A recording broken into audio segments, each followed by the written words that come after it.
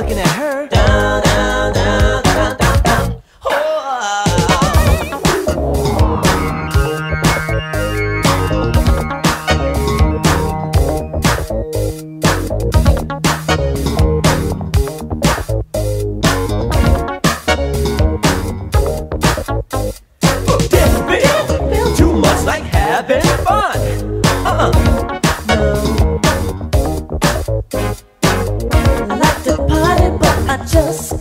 find the one.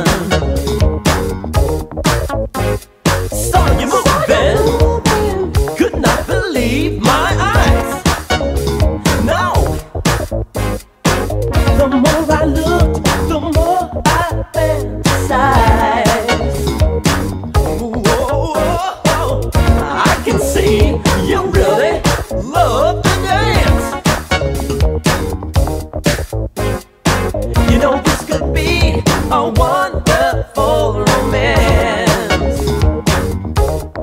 And now